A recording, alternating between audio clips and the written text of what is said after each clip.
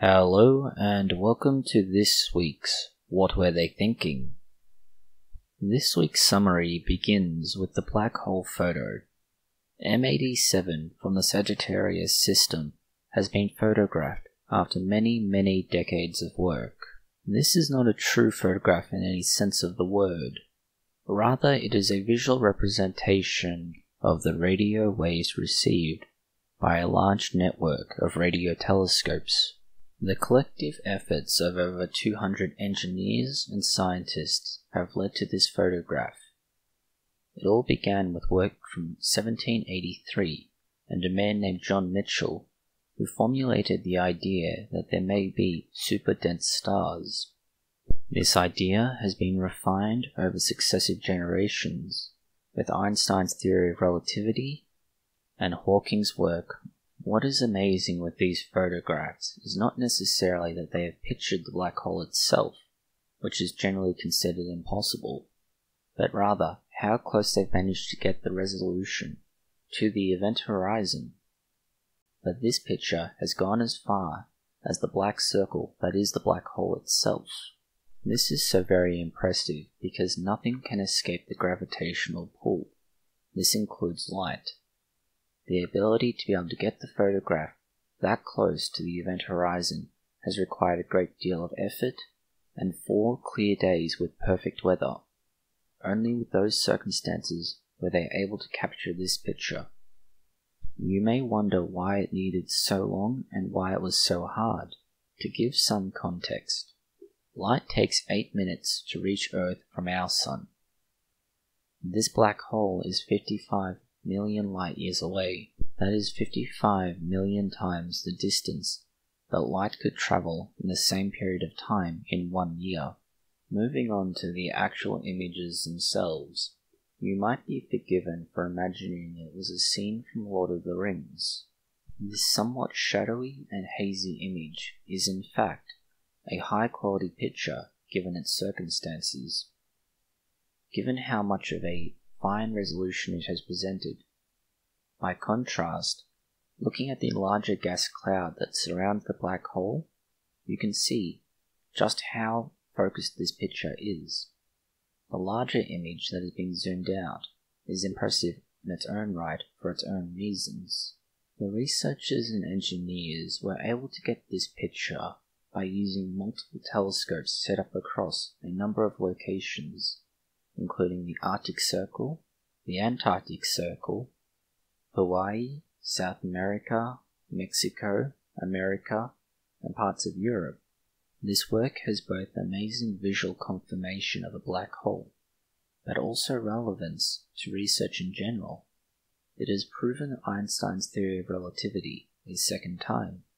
The team responsible has compared their work to being in New York and trying to count the dimples on a golf ball in Los Angeles, or imaging an orange on the moon.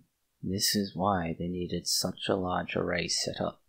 These first few images are only the tip of an iceberg, and since they've come out, there have been six academic papers published, and there are likely hundreds more to come in the near future. To give some concept of the size of this black hole, XKCD has created kind of comic. You'll note that Pluto's orbit doesn't even cover the rim of the black hole, and Voyager, a spacecraft we launched into space in 1977, just over 40 years ago, would barely be leaving the rim of the black hole. Not the black hole's gravitational pull, just the black hole itself. Going from the most amazing astronomical events imaginable we now move on to the bizarre and unexplained. There's a star in the Milky Way that shouldn't exist. There is a star called J0023 plus 0307. And it is strange. So strange that astronomers believe it should not exist. It contains practically no carbon, but has a very high amount of lithium an unusually high amount of lithium. Lithium, along with other elements in the periodic table, was one of the first formed after the Big Bang, and those stars that have an unusually high amount of it tend to have formed during the primitive period of the universe, within the first 300 million years after the Big Bang. The reason this star is believed to be a primitive star is its high lithium content which would form during that period, but a lack of other heavier elements that formed well after this. Given its location and the nature of the finding, this star is a bizarre, or is that this star, discovery. Getting closer to Earth, yet another meteor has exploded over Siberia. This is the third major fireball in four months. Siberia is becoming almost infamous for its recordings of meteorites exploding in the region. Unfortunately, it's also causing fear in the locals, who continue to experience this unexpected, unpredicted, and rather terrifying event. Locals would have some idea of what would happen when a meteorite hits, as in 1911 a meteor exploded in the Tunguska area. This had the estimated force of 185 Hiroshima atomic bombs. It destroyed 80 million trees. Given the history between Russia and Japan, Japan's decision to start dropping bombs on an asteroid in the name of science is a likely happy coincidence. Japan's space agency has said it successfully dropped a small bomb weighing roughly 2 kilograms on an asteroid called Ryugu. The Hayabusa 2 spacecraft dropped the bomb on Ryugu on Friday in an effort to create an artificial crater. The Hayabusa had to run away after deploying its bomb and will return shortly to take photographs of the site. After that, it will attempt to take samples from under the surface. This is in an attempt to understand both the formation of craters in space and, if possible, collect water and organic samples which could help the agency understand the history of the solar system. The Hayabusa 2 is expected to return to Earth by late 2020 with these samples. While the Hayabusa 2 is being successful, Israel's first mission to the moon has failed spectacularly. Israel privately funded a space probe called Beresheet and launched it into space in February. They used one of SpaceX's launching platforms. It took the 1300 pound robot into space, and unfortunately on Thursday it crashed into the surface when one of its primary engines failed. The Beresheet probe has been in the works since 2011. This came about from Google announcing a cash prize for those who developed and deployed a moon lander Although they were unable to win that, they continued with the project using private funding. A South African billionaire named Maurice Kahn donated most of the money for this project, and surprisingly, he is not that put out at having lost $43 million in a destroyed probe. In fact, he views it as a very positive event, in that it may encourage new Israeli scientists to pursue works in the space industry. The Beresheet program was not a complete failure. In fact, it has achieved many admirable achievements. It has successfully spent seven weeks in space. It successfully traveled between the Earth and the Moon to get to its target. It entered orbit and was otherwise on a successful transit to the ground. Unfortunately, the engine failure and the inability to reboot the system in time led to failure, but overall, you could consider it a relative success. If Beresheet had succeeded, it would have made Israel one of only four countries to have ever touched down on the moon. In a twist of irony, we go from the highlights of the week to the worst news of the week. New York City has just had to declare mandatory measles vaccines. This has a very close relationship to Israel, there was an ongoing joke among pro vaccine arguments that the government was not going to go around forcing people to have vaccines against their will.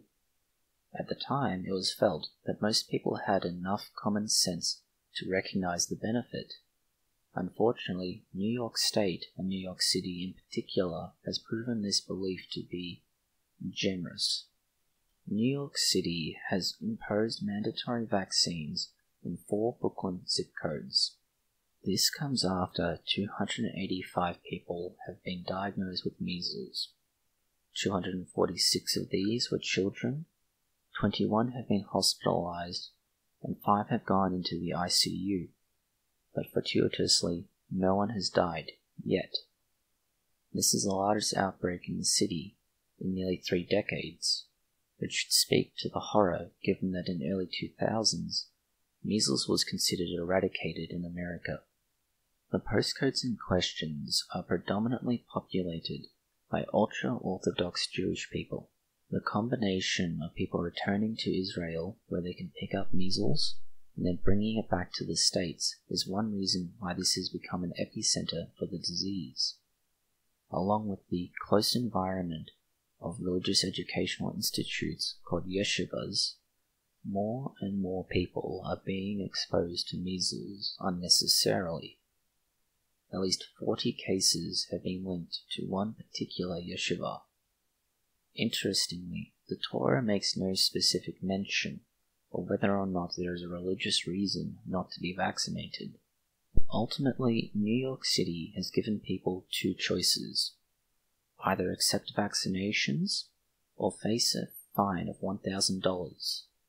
Ultimately, there is no religious reason not to accept vaccination, and given that there is a financial penalty, there is no reason not to accept the vaccinations, more so when you are traveling to or from regions where you may either contract or spread the disease.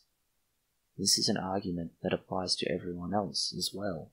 What will be interesting is to see if the anti vaxxer argument that vaccines cause autism is vindicated through this mandatory vaccination program. If there is no sudden spike in the diagnoses of autism, it will make very clear that there is no fundamental support for this theory. On the other hand, there is a novel new treatment for autism. A fecal transplant therapy has reduced autism severity by 47% in the children who received it. There has been a long term postulation that autism shares a common cause with the microbes in the gut. That this fecal transplant has reduced the severity of autism would appear to support this argument. In 2017, Arizona University researchers gave doses of healthy bacteria to autistic children. They are now following up on the state of those children 24 months later. Having returned to their original group of volunteers, it turns out they were not demonstrating any adverse effects, and the fecal transplant was progressing nicely. Autistic children have an unfortunate penchant for temperamental digestive tract, which can be readily upset by food and environmental conditions, such as stress. This is one reason why the fecal transplant was postulated. They gave 18 children aged between 7 and 16 this procedure. All were on the autism spectrum. And they were matched with 20 appropriate control subjects. Overall, the autistic children involved saw an 80% reduction in their digestive tract problems. That would in and of itself be an interesting outcome. What is even more interesting is that at the beginning, 83% of the initial group could be considered severely autistic. After two years, this is just 17% and 44% of them no longer make the cutoff for being on the mild end of the autism spectrum. This gives an average reduction of autism symptoms of 47%. An otherwise harmless and very risk averse treatment has reduced severity of symptoms by half. Compare this with the pseudoscience and woo that is about in the form of the miracle mineral solution CD protocol, and other ridiculous nonsense peddled by charlatans. This is a very promising treatment. Going from gut microbes that are benefiting autistic children, there is an outbreak of people ill from E. coli in five states in America. In fact, 72 people in five different states have been admitted for foodborne illnesses, all relating to one particular strain of E. coli. Food poisoning in and of itself is not that unique. What is interesting here is the geographically discrete areas and the fact that it is the same thing causing it in all of them, and the CDC has yet to figure out why. The patients are from 1 year to 74 years, with most in their teens. Nobody has been able to figure out what they've eaten or what they've been drinking that has caused the E. coli infection.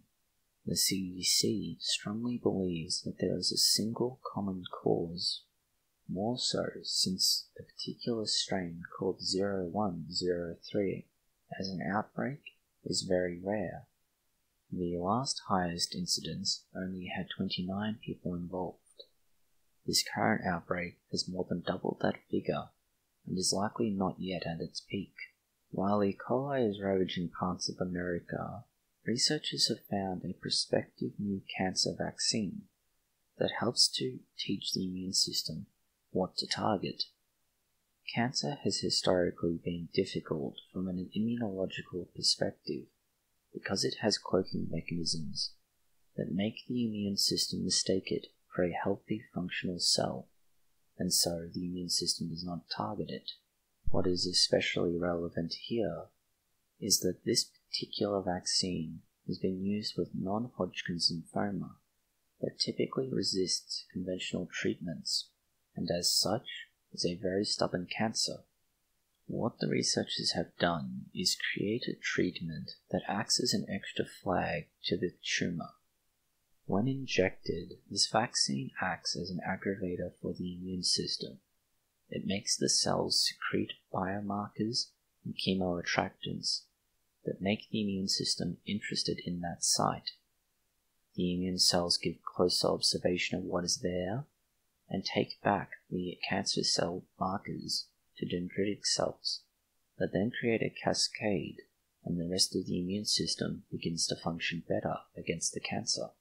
Stimulating the immune system this way is a far more effective way of treating the tumor than things like chemotherapy, which are universal. By activating the immune response, the body attacks it itself and does so in a targeted manner. This treatment also avoids some other issues, in particular, something called the checkpoint blockade, which inhibits the T cells that destroy the cancer. Having been initially tested in 11 patients, and having demonstrated efficacy in an animal model, this treatment may well progress reasonably quickly onto the next stage of a clinical trial. However, as with all cancer treatments, it is highly experimental at present. Another treatment being investigated at present is a HIV therapy. This is in theory more effective than conventional antiretroviral drugs. HIV is hard to treat, not just because it is a virus, but because it is a virus that almost universally hides in the immune cells that are meant to target it. By hiding in an immune cell, it is less frequently attacked. Antiretroviral drugs must be taken for the lifetime of the person infected, and as a consequence can have long term negative consequences on the person's health. When a person infected with HIV stops taking the antiretroviral, the HIV virus comes out of dormancy and begins to cause trouble again. Extended periods with the HIV virus active can create worse consequences than the antiretroviral can. The researchers from the University of Pittsburgh took a common target of the T cells, the cytomegalovirus, and used that as the basis for their treatment. Their therapy activates T cells that target this particular virus. It also helps to target the HIV virus because its same T cells are responsible for keeping HIV in check. Unlike the antiretroviral therapies, this does not suppress the HIV virus, but instead forces it out of the cell, where it is then attacked by the immune system. This removes the virus, it does not suppress it. In other news, we found traces of the elder god Cthulhu. Researchers in the UK have found a small, multi tentacled creature that is roughly 15 millimeters in diameter, or three fifths of an inch. It was armored all over.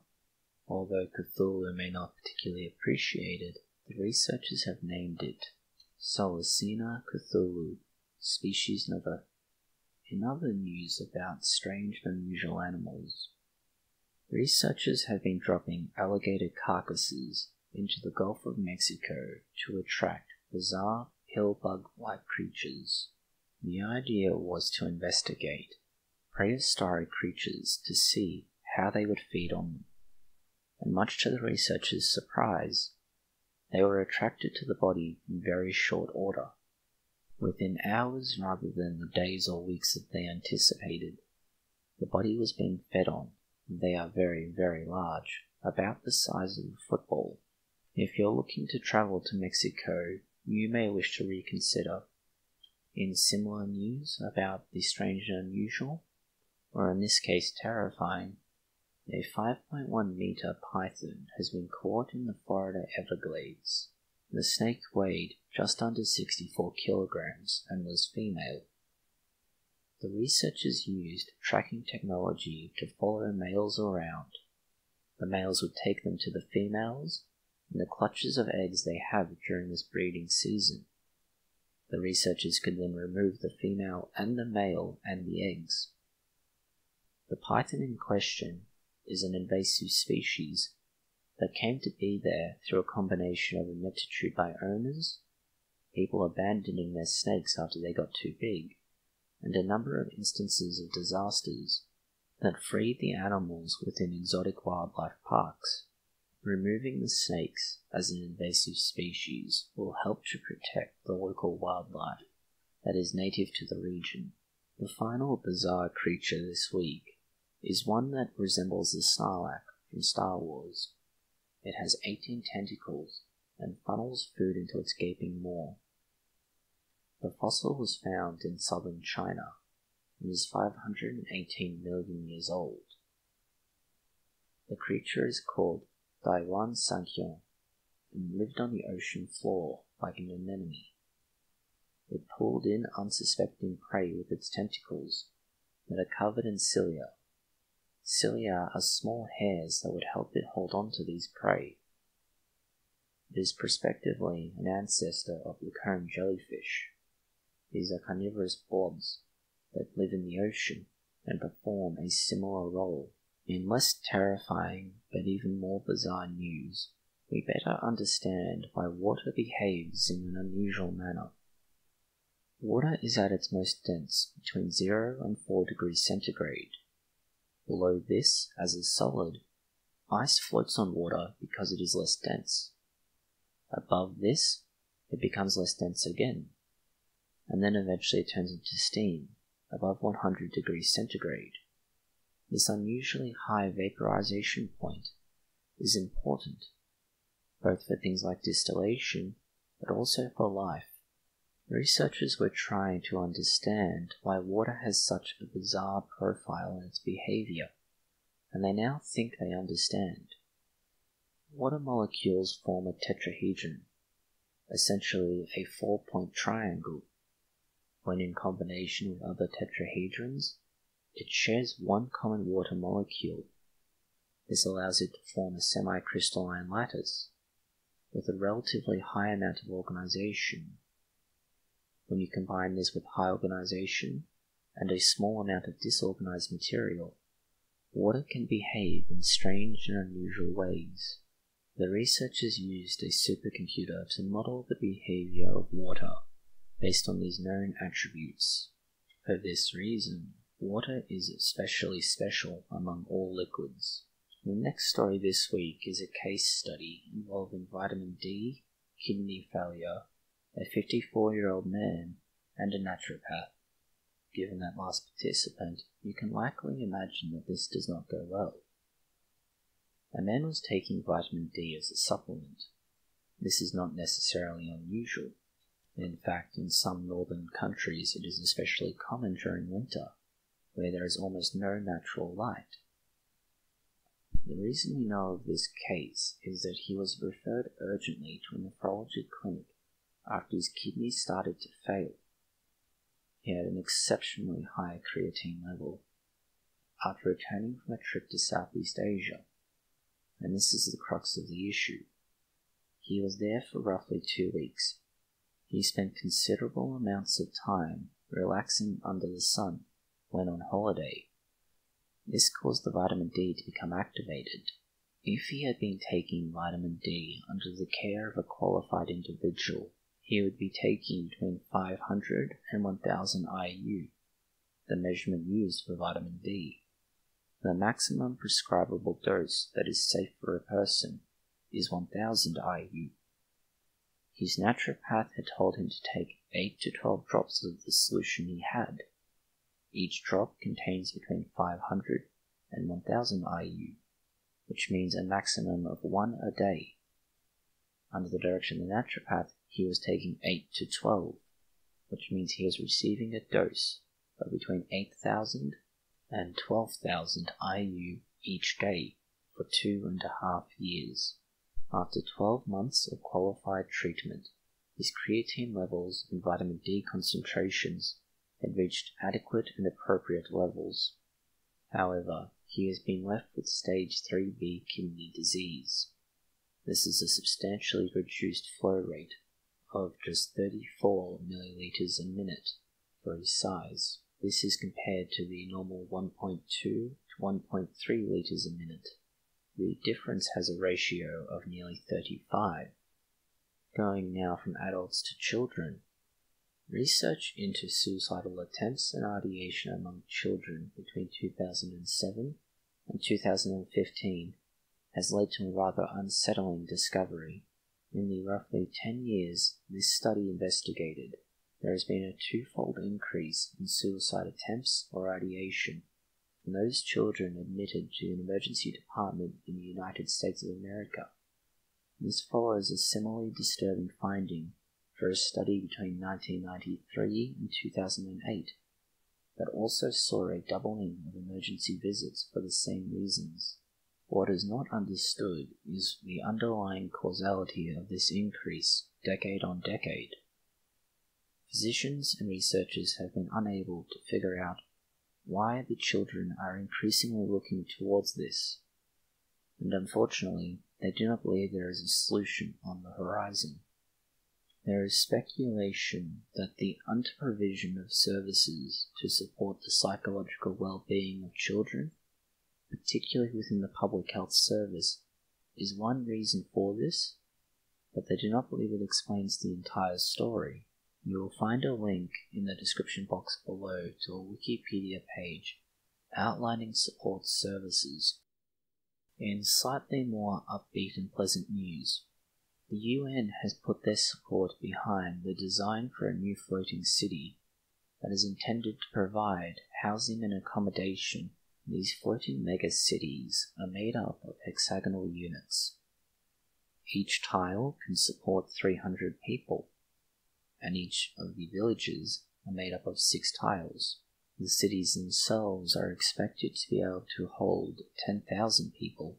In theory, these cities will be highly affordable, whereas Hollywood has always demonstrated them to be the denizens of the rich, powerful, and otherwise influential. The intention is to have them as super clean and environmentally conscious.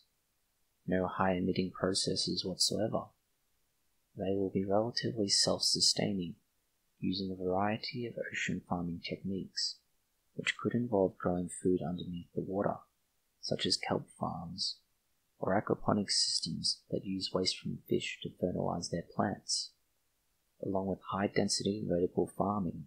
The cities are designed to be able to survive major environmental disasters such as tsunamis and hurricanes. There will be more to their location and unable to move, which makes their name Floating City a slight misnomer. The final story this week has the brain behind Linux taking shots at social media. Linus Torvald recently conducted an interview in which he took aim at social media platforms like Facebook, Twitter and Instagram, the exact quote being, I absolutely detest modern media. Twitter, Facebook, Instagram. Another quote being, It's a disease. It seems to encourage bad behavior. He has taken issue with the way social media tries to generate as much of an interaction as it can, regardless of why that interaction is occurring. The actions involving the Covington school students recently are a good example of this. The ability to share a story that got a lot of attention and a lot of interest very quickly ensured a lot of engagement, but not necessarily for the correct reasons. As Torvald said, the whole liking and sharing model is just garbage. There is no effort and no quality control. In fact, it's all geared to the reverse of quality control, with lowest common denominator targets and clickbait and things designed to generate an emotional response, often one of moral outrage. He believes that the entire social media landscape is designed towards encouragement of flame wars and unsavory behavior, at least part of which he puts down to the ability to create content with anonymity. Torvald is effectively a powerhouse in the IT area. His creations are responsible for not only the platforms, but many of the services that are used on a daily basis. Take the Android operating system for example. It is essentially a stripped down and customized version of Linux designed to run on very limited devices. Then you have your online platforms and services that rely heavily on Linux based platforms for their ability to run servers and as a consequence the service itself. That their creator, or at least the major mind behind their creation, should be taking aim at the very services that are using it will raise rather important questions within the industry. Unfortunately, this may lead to moral outrage, the very thing that Linus Torvald has described as the problem with social media. Thank you for watching this video. If you found it interesting, consider liking, sharing, and subscribing. Please post any comments, questions, or suggestions below.